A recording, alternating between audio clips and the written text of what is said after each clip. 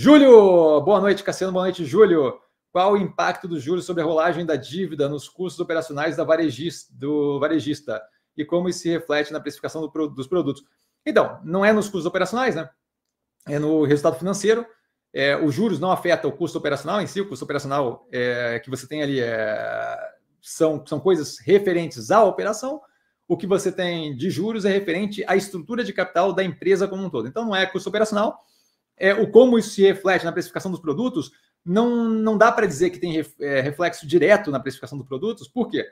Quando você tem. Você não pode, por ser mais alavancado, querer vender produto mais caro, porque no mercado competitivo e livre há vários outros competidores, você precificar mais caro porque você está mais alavancado, faz com que você perca a competitividade e você toma na cabeça, certo? A precificação ali não se dá é, com base nos juros que você está pagando. Tanto é que as empresas várias vezes têm uma estrutura de capital maior, caso do Grupo Casa Bahia, que estava agora há pouco assim, e aí você acaba tendo prejuízo. Por quê? Porque por mais que você venda com uma margem bruta relevante, a estrutura de capital está comendo a diferença é, do que você pagou versus o que você está vendendo. Então, se você olhar uma DRE, você, por que, que você vê resultado financeiro lá para baixo? Porque é a última coisa que se desconta, porque não tem a ver propriamente com a operação. Você consegue rodar uma operação bem sucedida com uma alavancagem zero ou com alavancagem alta, de modo que a operação em si não tem nada a ver com a alavancagem, certo?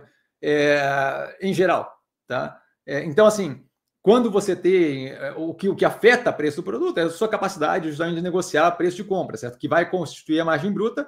Daquilo dali você vai para os custos operacionais, e aí depende de como você opera a estrutura da sua empresa. Tem empresas mais, mais online, por exemplo, que vão ter custos ali de tecnologia mais pesados e zero ou menos custo de, de pessoal. Talvez custo de diretoria mais pesado, menos custo de middle management, ali, de gerente de loja e por aí vai. Tá? Mas isso daí, é, esse preço, eu não posso simplesmente jogar meus juros em cima daquele preço porque a hora que eu faço isso, eu perco competitividade. Se eu perco competitividade, não interessa.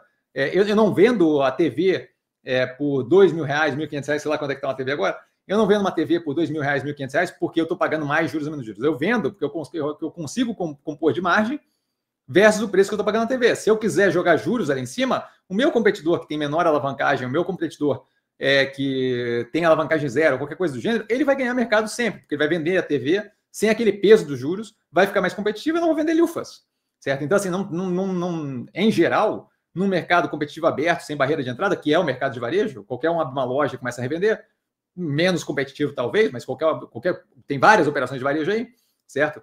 É, no mercado de varejo, você não pode simplesmente jogar o peso do resto das suas decisões em cima do, do, do preço do negócio.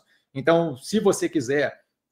É, se, o, que, o que acontece é que a precificação te dá ali uma margem agora, por exemplo, caso Bahia, com uma margem consideravelmente elevada, 31,6% de margem bruta, aquilo ali vai ser comido pelo resultado financeiro lá embaixo, mas aquilo ali não pode afetar o preço, porque uma vez que eu deixo afetar o preço, eu começo a afetar minha, minha capacidade de competir. Aí, aí, aí não adianta, certo? Aí não adianta, eu não consigo simplesmente botar aquilo ali no preço, porque se eu botar no preço, eu vendo menos, se eu vendo menos, eu tomo na cabeça pior do que eu tomar antes.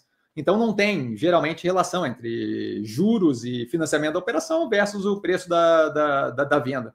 Tá? Isso daí não deveria ser relacionado. Se alguma operação faz ou não faz, não sei, mas eh, não sobrevive se fizer desse jeito, porque não funciona assim. Eu não posso botar meus juros em cima do preço, porque eu fico menos competitivo e eu tomo na cabeça, eu vendo zero. Tá? Então isso daí não deveria ser.